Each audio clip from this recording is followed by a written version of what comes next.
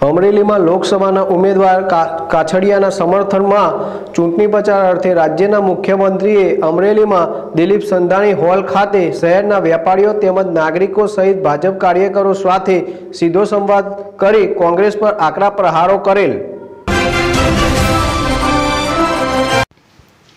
અમરેલી લોકસભાના ઉમેદવાર નારણભાઈ કાછડિયાના સમર્થનમાં ચૂંટણી પ્રચાર અર્થે રાજ્યના મુખ્યમંત્રી શ્રી વિજયભાઈ રૂપાણીએ અમરેલીમાં દિલીપ સંઘાણી હોલ ખાતે શહેરના વેપારીઓ તેમજ નાગરિકો સહિત ભાજપના કાર્યકરો સાથે સીધો સંવાદ કરીને કોંગ્રેસ પર આકરા પ્રહારો કરીને જણાવેલ છે કે કોંગ્રેસ સંકલ્પ પત્ર જાહેર કરીને સાબિત કર્યું છે કે આતંકવાદ જેવા મહત્વના હોદ્દા ઉપર પણ કુમરું વલણ ન હોવું જોઈએ.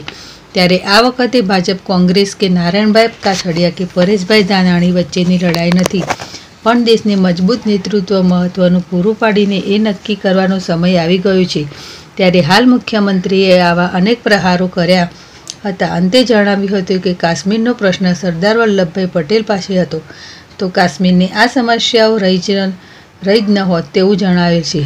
ત્યારે હાલ અમરેલી નગરપાલિકાના પ્રમુખ જયંતિભાઈ રાણવા સહિતના કોંગ્રેસના દસ ઉપરાંત અસંતુષ્ટ સભ્યોને રાજ્યના મુખ્ય વિજયભાઈ રૂપાણીએ ભાજપનો કેસ પહેરાવતા કોંગ્રેસ ગઢમાં મોટું ભંગાણ થયેલ છે.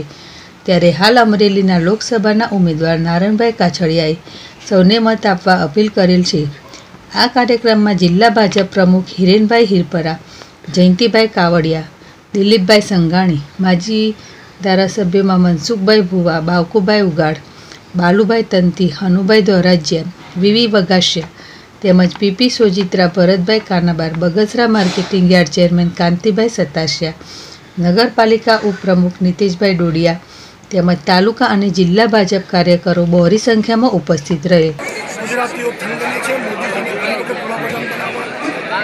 અમરેલીમાં પણ ખૂબ સારો ઉત્સાહ જોવા મળ્યો છે.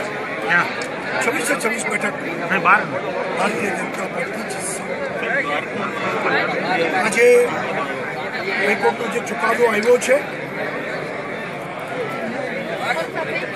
મીડિયા દ્વારા જે સાંભળ્યું છે, ચુકાદાની પદ્ધતિ સમજાવશે પણ કંઈક ટ્રેનમાં ટેકનિકલી વસ્તુના આધાર ઉપર ચુકાદો છે. એનો એનો અભ્યાસ કરીને તુરંત સુપ્રીમમાં આ અંગેની રીટ પિટિશન અપીલ કરવામાં આવશે. અને પૂર્ણ કાયદામાં ન્યાયતંત્રનો ભરોસો છે. સુપ્રીમમાં અમે નહીં મેળવીએ